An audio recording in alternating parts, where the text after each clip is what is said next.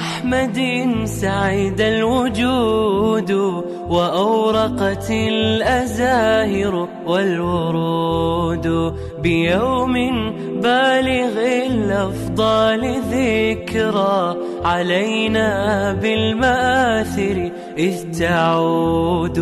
علينا بالمآثر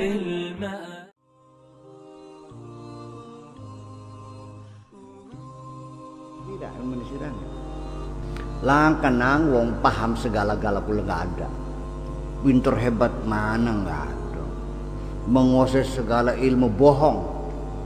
Nggak ada orang yang segala ilmu. Yang ada paling secimit, secimit, secimit pun baik ujimu. Pada asal pepek pekaan.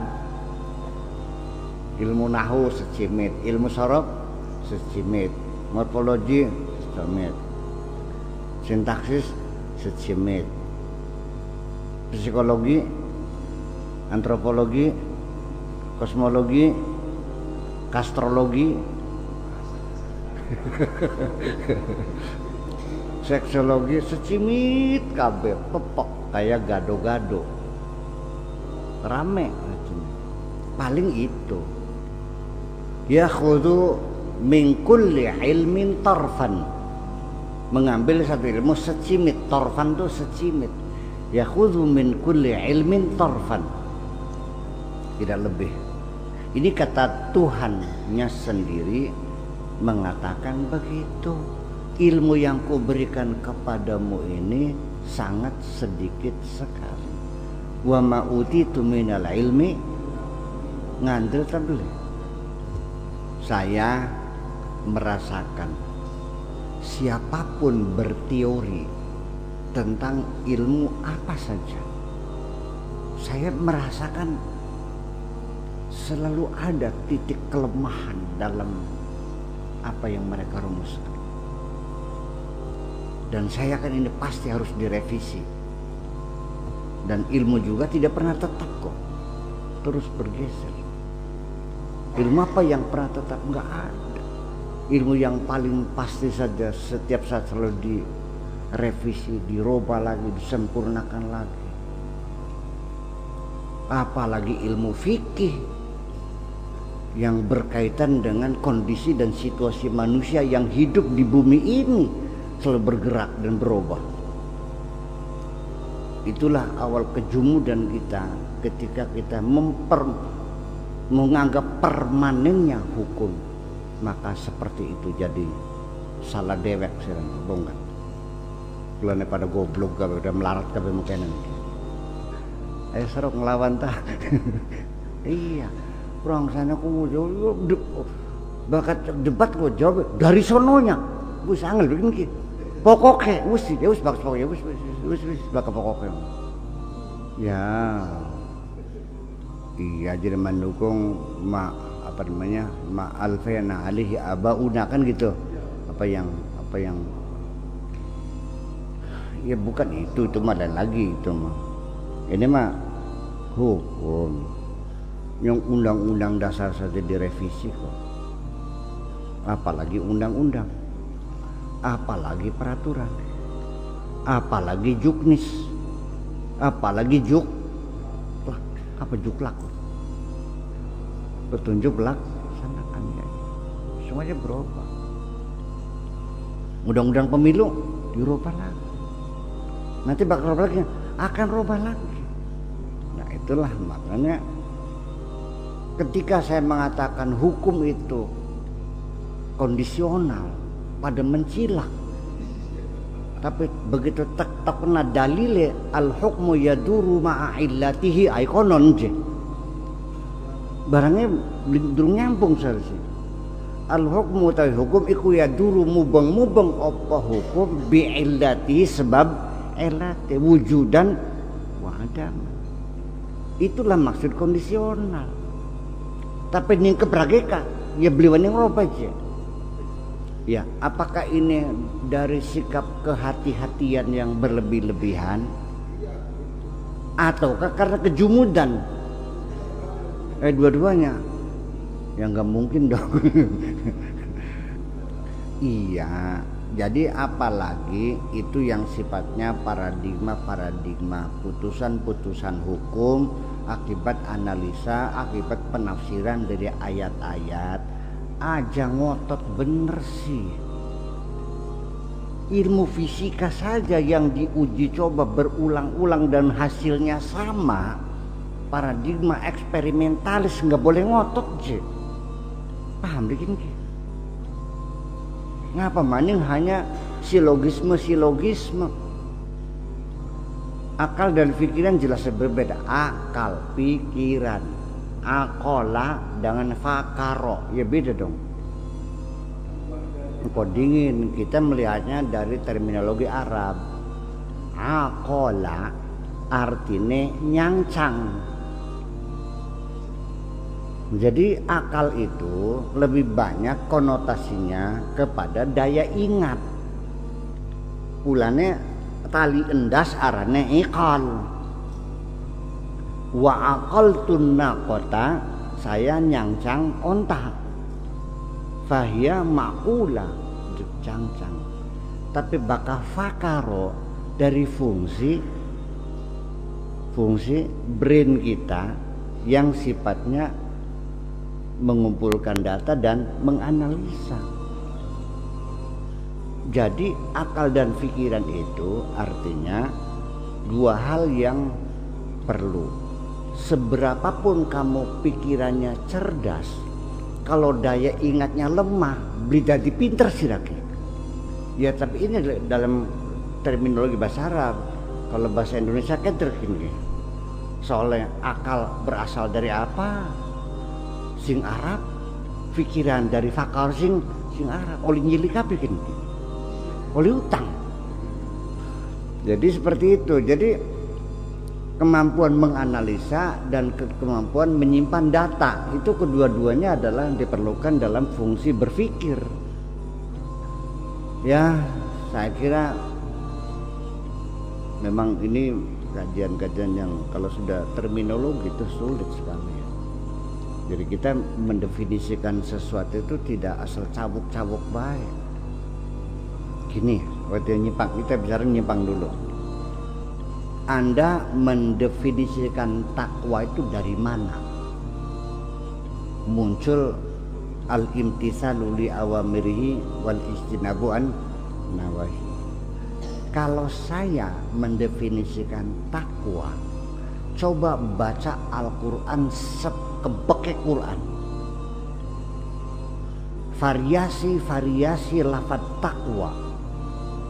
Kumpulakan KB itu ngetekang siji perbedaan-perbedaan makna yang ada dipakai dalam Al-Quran itu menjadi sumber pengetahuan kita. Nah, begini. Dan semuanya kumpulkan semua.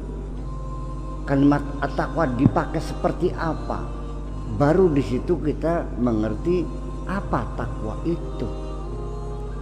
Dari mulai watazawwadu fa inna nah apa artinya? Saya jelaskan ki ya ayyuhan nabiyyu ittaqillah wa la tuti'il kafirin wal munafiqin. Sejenman ku anfusakum wahlikum nara. Fattaqun nara allati waquduha nas wal hijara u'id al innal jannata u'iddat lil muttaqin. Begitu variasi-variasi lafaz takwa dipakai begitu banyak pengetahuan kita semakin luas akhirnya kita menolak definisi takwa al imtisal li awamirihi karena tidak cocok. Iya kan? Kenapa kita membuat definisi takwa sendiri dengan kemampuan logika kita yang terbatas. Nyong Allah tuh sudah menerangkan, mendefinisikan takwa sangat gamblang sekali kok dalam Al-Qur'annya. Alif lam mim zalikal kitabu hudalil Siapa orang bertakwa diterangkan begitu gamblang. Alladzina yu'minuna bil ghaibi. Orang yang punya platform yang jelas punya ideologi, punya visi dan misi, punya target dan punya program. wa salata dan berkomunikasi intens dengan masyarakat sekitarnya. Wa mimma razaqnahum yunfiqun dan orangnya dermawan. Ngandel wong medit takwa. Orang orang ngandel bakal medit ngau takwa. Bakal medit takwa yang bakal letak di kawah walladzina yu'minuna bima unzila ilaika wa ma unzila min qablik punya jiwa toleransi terhadap agama-agama yang lain. Semuanya jelas juga paham paham misalnya magab dewek ngebembe lah ya itu persoalannya. Masa garap melawan Gusti Allah? Kita menjadi tidak mampu berpikir kan benar sebabnya kita tidak karena dari awal kita sudah disekoki dengan indoktrinasi bahwa apa yang kamu baca sudah dijamin benar. Ya tabligh dan jangan coba-coba melawan. Jadi mensakralkan karangan orang. Al-Quran saya mensakralkannya.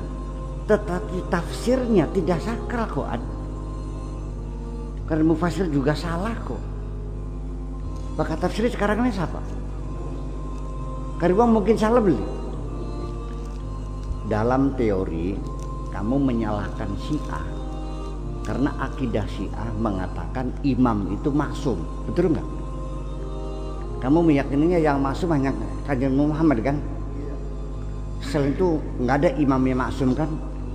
Teori mah hebat siraku. Tapi ini prakteknya mah anda juga memaksudkan imam juga kok enggak ayo ya terbalik nyung kita sedang di sentak-sentak juga ka ngeritik Imam Syafi'i ku. Pinter sila tapi pinter Imam Syafi'i kok nunjuk mereka. Ya tak jauh ya pinter kita. Ayo tok tengah kelamaan Nah, itu kan seperti itu. Jadi imammu kan ya, formal mah iya tidak masuk, tapi aplikasi sehari-hari kamu marah ketika ada orang mengkritisi imam kamu kok. Ayo ya beli. Iya terbeli gitu. Jujur begini mah itu. Berarti masem beli imamku. Masem juga kok. Sama. Atau jangan-jangan kamu sudah jadi syiah barangkali. ya itu masalah jelasan berita. Ya iyalah. Jadi begini maksud saya mengkritisi imam tuh jangan diartikan menghina. Jangan diartikan menyepelekan. Tidak tetap saya menghargai jasa mereka yang sangat besar itu. Islam saya ini juga berkah jasa-jasa mereka juga. Eh masih pinter gak kita menghormati imam timbang sirama iya kan tetapi menghormati itu tidak berarti kita harus selalu mengiyakan segala-galanya tanpa men, apa, tanpa menyikapi sikap kritis kita. Minimal kita ingin menyempurnakan karya-karya mereka. Ini berbahaya. Ketika ada upaya saya ingin menyempurnakan pikiran-pikiran mereka, dianggapnya menghina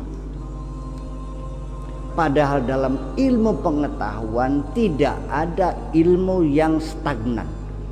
Semua ilmu dalam proses terus generasi demi generasi melibatkan beratus-ratus generasi ikut menyempurnakan temuan yang awal.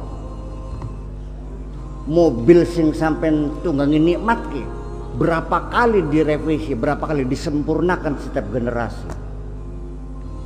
Ayo dari mulai rodanya pakai besi sampai rodanya pakai ban mentah sampai pakai angin sampai pakai cubles. Setire bengen kah? Baka belok muter kan itu puter kanan. Bakal sana diputer mana kiri mana? Sekarang lepas saja dia kembali lagi kok. Disempurnakan lagi. Alot diputer mana gaya mana power steering. Itu bukan satu orang itu bertiap generasi Kenapa dalam keilmuan Islam kita seperti seperti ini tidak boleh disempurnakan? Apa Anda sudah menganggap sudah sempurna gitu? Jangan-jangan. Jangan-jangan. Jangan-jangan Anda sudah menganggap sempurna. ya tidak boleh sempurna udah sempurna kok kayak kayak yang bapak ya ada anggapan bahwa Islam sudah sempurna kan kalau ada orang Islam belum sempurna pada kaget ya sebabnya apa sebabnya? Jadi ketika Nabi meninggal dunia agama Islam sempurna gitu. Buktikan silakan buktikan kesempurnaannya. Seperti apa? Itulah makanya syariat itu berjalan bersama zaman. Ya kecuali seremoni seremoni. Kecuali manasik. Kalau manasik mah jangan bikin-bikin ya bakal takbir ku ya tangan loro aja tangan siji. Kan marane tabe mungkin mah. Itu konon aja konon. Nah bikin ki Dulu jangan bikin-bikin sembayang ngadege sikil siji.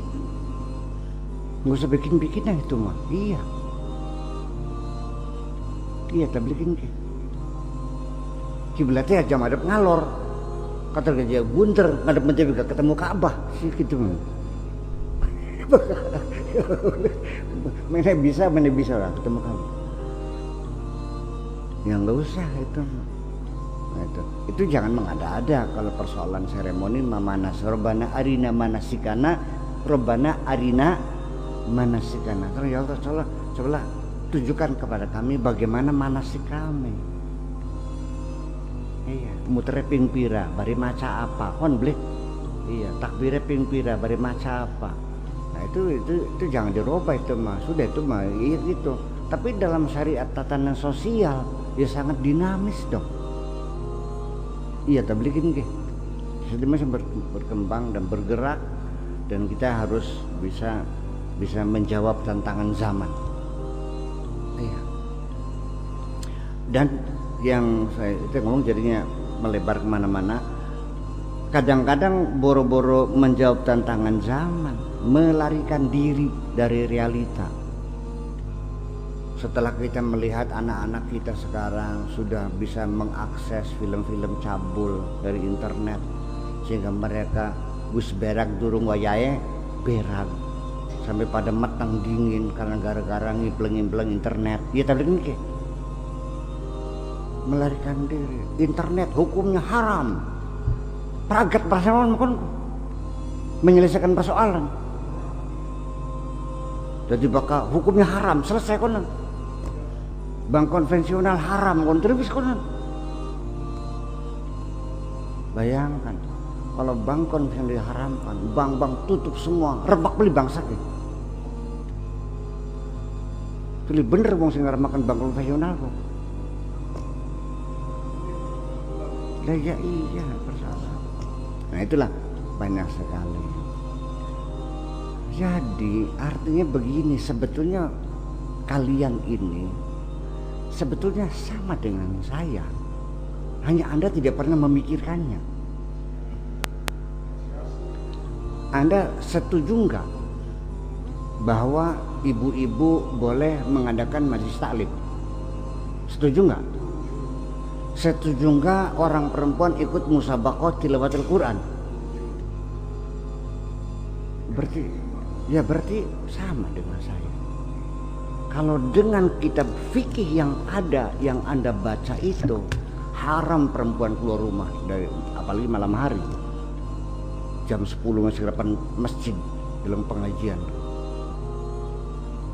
Ya enggak. Barangnya mah sampai ke sadar beli sadar sudah ikut arus barangnya mah mau beli sadar.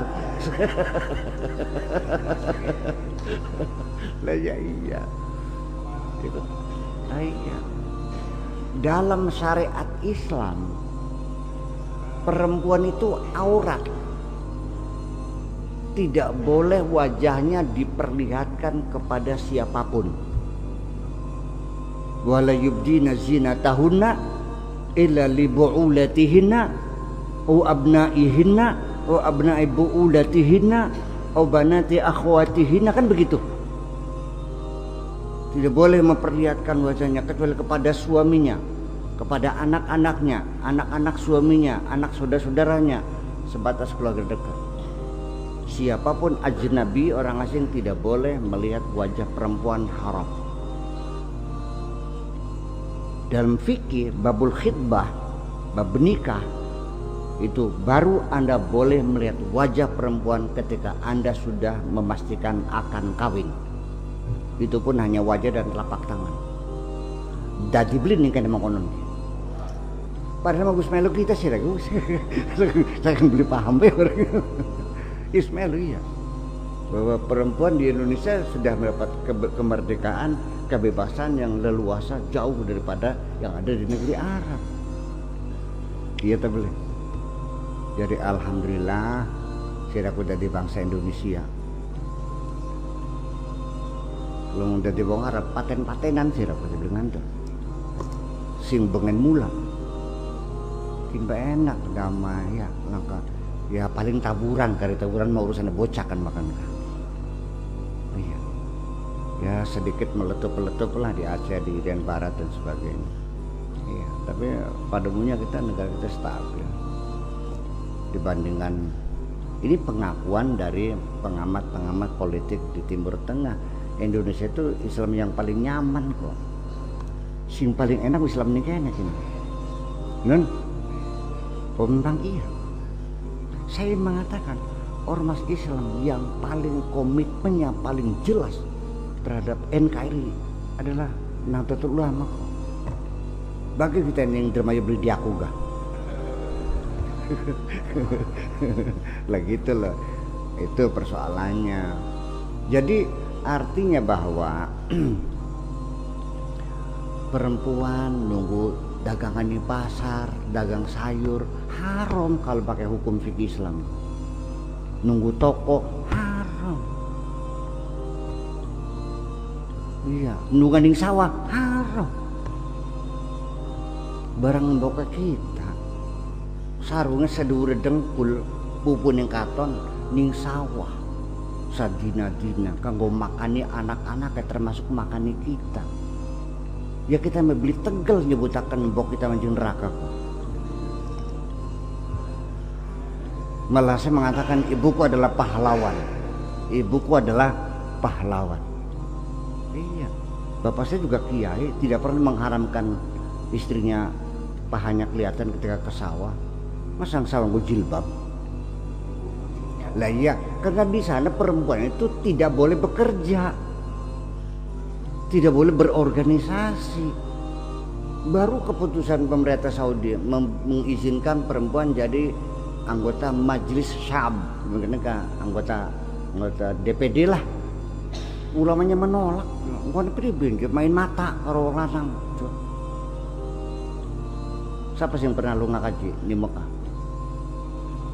Pernah anak beli wong wadon dagang sayuran dengan anak. Anggap aja sih lagi goreng udah beli ketangguhan pemerintah aku dilarang pun dan sana semua muka ditutup nggak boleh. Muka itu aurat tidak boleh dilihat. Gitu. Jadi artinya beginilah. Islam kita agamanya Islam. Tapi kita juga bangsa Indonesia kan? Punya negara sendiri. Ya jangan diidulah Islam dengan Indonesia. Kita sinkronkan saja sih. Kita kira bisa jadi wong Islam bisa jadi wong Indonesia. Itu aja kok jangan lalu Indonesia dibuang. Semua tradisinya semua kearifan lokalnya ya kok kopai Islam ya Islam di Indonesia. Wahina ma alinnya terakhir ta. Wahina ma yasidul abidu ila muntahal ma'rifah.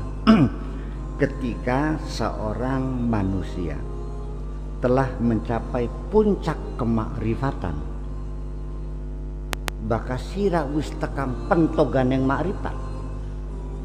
Tak tekang seduur paling muntahan wa yudriku jahlahu.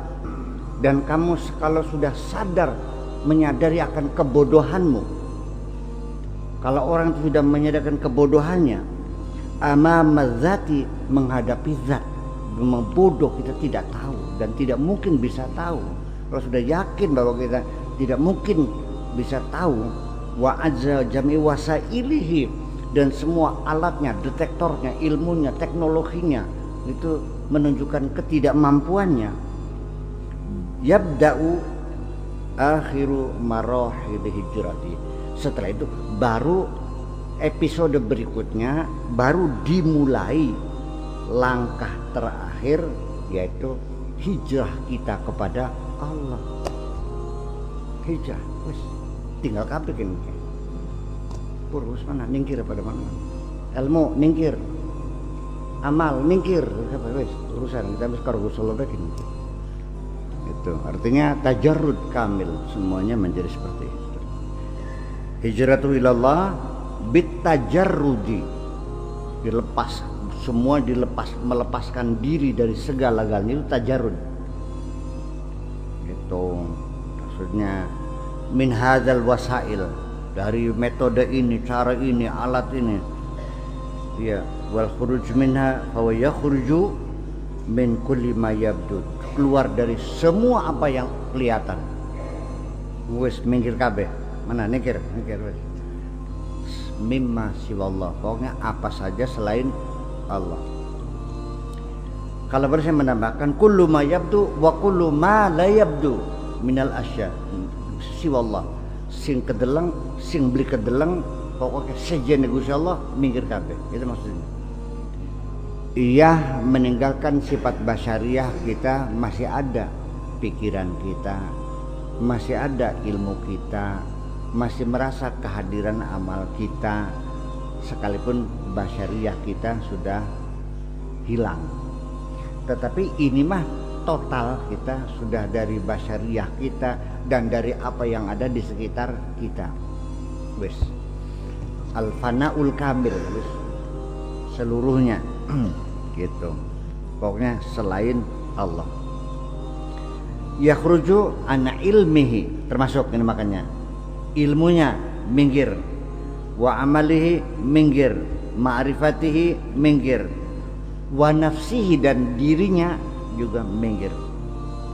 Wasmihi namanya juga wis minggir tanpa nama. Biar aku tanpa nama tanpa badan tanpa amal tanpa logika tanpa ilmu semuanya wa yakhruju anil hurufi wal ibarah anil harfi wal ibarah sampai juga dia keluar dari huruf dan ungkapan-ungkapan dan kata-kata.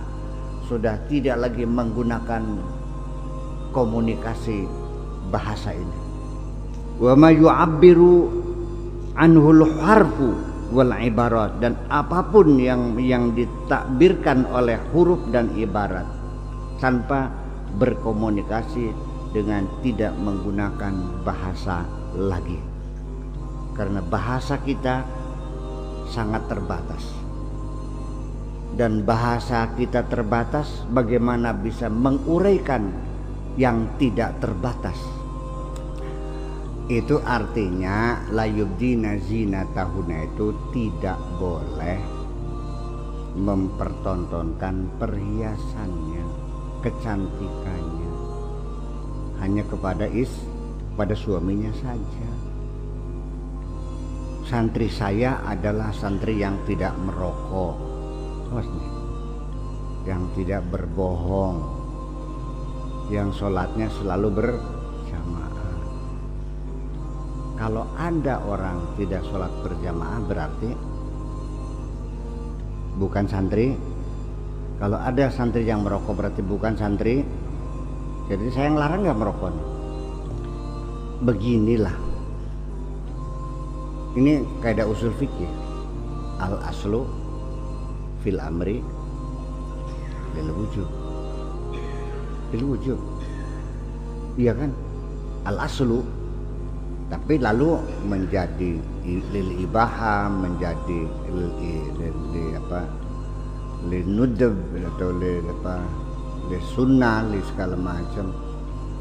Itu kan inqamat alaihi qarainuhu. Kalau ada qarinah qarinahnya saya kira qarinah qarinah mau lafziyah maupun segala macam dalam kajian-kajian psikolinguistik tidak sangat menentukan kok.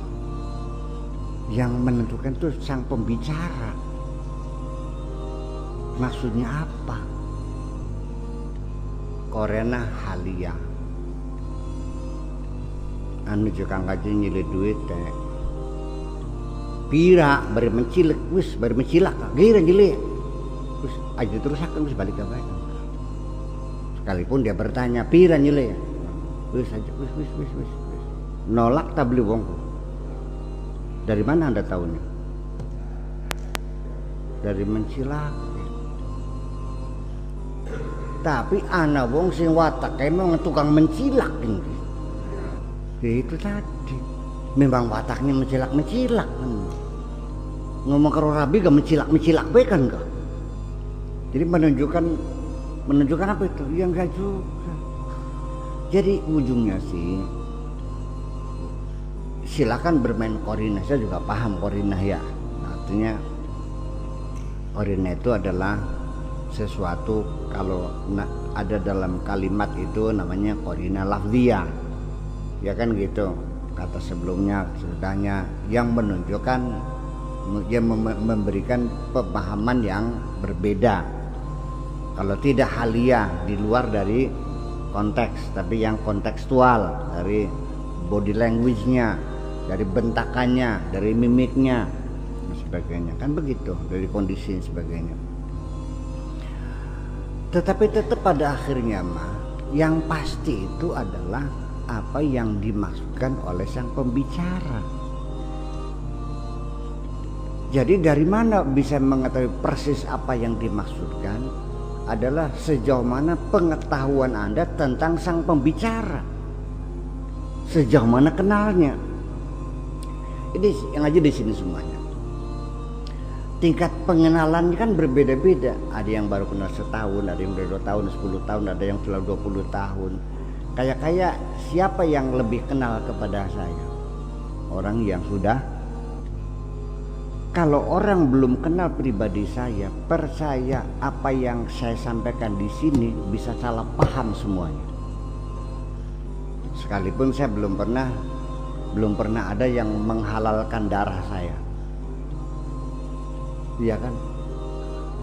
Belum ada yang bilang mengkafirkan saya belum sih. Paling-paling nyeleneh paling-paling. Iya kan nggak paham. Tapi setelah sering ngaji, ai dan mengkonon maksudnya, ya kan begitu. Jadi siapa yang paling paham Al-Quran, firman Tuhan adalah bukan orang ahli tafsir, bukan orang ahli nahu, bukan ahli sorok tapi orang yang sudah kenal yang ngomong dong yang bicara. Siapa yang bicara? Itu aja persoalannya. Saya baca tafsir-tafsir Tobari tafsir apa namanya eh, Bahrul Muhit tafsir segala macam tafsir. Itu akal-akalan semuanya. Tapi ketika tafsir dikarang oleh seorang yang sudah kenal Allah seperti Syekh Abdul Qadir Al-Jailani beda tafsirnya. Ngandel begitu nggih iya. Dia nggak pernah menjelek-jelekan Yahudi nggak pernah jelek-jelekan Nasrani. Ya ghairul maghdubi alim waladoli ya maghdub yasira dolin yasira. Sira sing kena sewot sira sing kena kesasar. Bahkan ini tafsir biasa mah ghairul maghdubi ai al yahud waladolin ai nasara apa dudu sira kunku nah, iyalah ya contoh-contohnya gitu. Jadi ya ya itu seperti itu. Jadi ya ya memang pada akhirnya mah ya lumayan lah daripada daripada dungu mah dengan kecerdasan ya sekalipun banyak. Sebagaimana kecerdasan kita. Begini Bung. Apa pun yang kamu lihat apakah Quran, apakah hadis, apakah dicantik alam semesta, bumi, langit, apa saja. Tidak akan bisa kamu melihat sesuatu dari segala sisi. Pasti hanya dari satu sisi. Itulah sebabnya maka subjektivitas itu sangat melekat dan kita melihat apa saja pasti berbeda. Anak tamu mancing menunggu ya Allah ini kok bagus banget bangunan mana ya lumayan lah semena nah masa kisah kurang masih ada semene jangan aneh akan ada orang melihat yang ber dan kita tidak bisa menanyakan mana yang benar. Karena itu subjektif dari sudut pandang masing-masing. Yang mengatakan masa pakai sakur masih seperti ini itu orang yang bikin masjid kubah emas. Paham bikin si ngomong bagus teman ya. Kulbu uang sing tak sing berungut iya kan? Kita menilai itu kan dari sudut pandang kita. Itu subjektivitas. Maka ketika ada orang mengatakan saya uh, intelektual muslim ketika di Jakarta. Ya kan orang Jakarta melihat saya seperti itu. Orang Cirebon melihat ini sufi nih. Ya ya karena begitu orang Bandung nah ini saintis ini ahli fisika partikel nih. Ya iya karena mereka melihatnya dengan ilmunya mereka. Ini Purwakarta ini kiai ahli kosmologi ya iya. Tegang dermayu dukun terus priben masih kita nyebot ya silakan silakan itulah persoalannya. Saya silakan anda lihat dari sudut anda masing-masing. Sehingga ini kita ya dan anda beli. Jangan ayo ngomong lah dengan. No anda beli. Ya wes. Tak baru tapi nggak usah marah dong. Ya wes bukan iya kata nih dan sehingga turun ketek ibu kan itu kan berdasarkan apa termasuk like and dislike juga juga peran penting di sini. Wong dasarnya nyung nyung dasarnya wong sengit. Apa pun yang anda lakukan kehebatan Anda apa tetap tidak bakal mengakui Anda. Yang dasarnya ukurannya like and this wong sengit, wong seneng, segara sampai sing Itu kan peribahasa berusaha itu adalah saripati pengalaman kemanu kemanusiaan kok. Ki ngaji mekenen ki, ana sing kapok. Pegel jang ngaji bertahun-tahun orang orang aling-aling ngajine ngadakna Gusti Allah bae.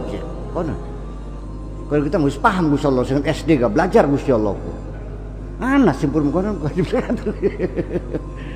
Kanda maning Gusti Allah maning. Encak sejene. Kayak kayak modelnya mumu kan disakur semua nuku. Gusti Allah Iya, tapi bagi bagi saya, bagi saya Allah adalah segala-galanya, Ji.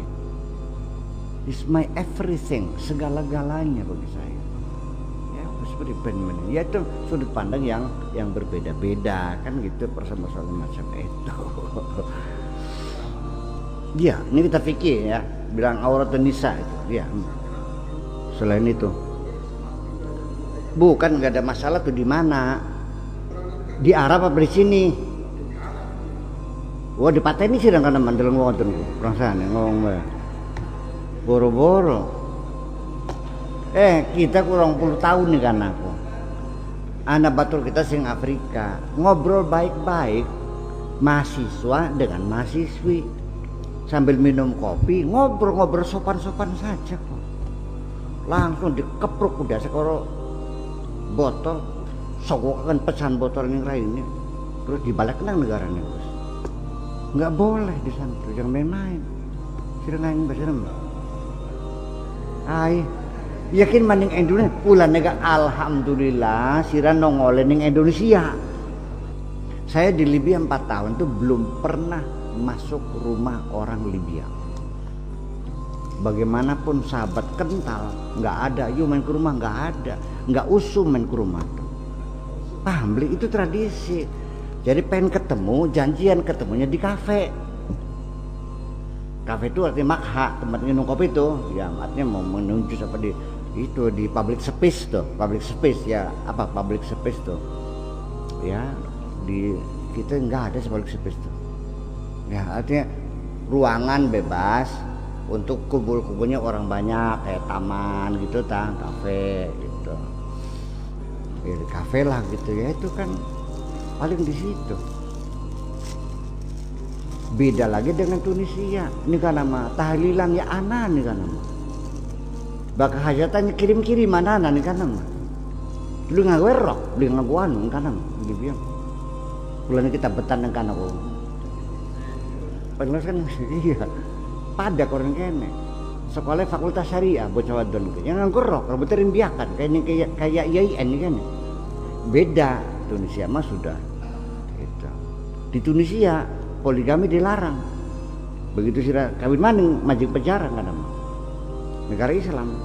Tapi mengharamkan poligami. Bajuan ku dilarang kan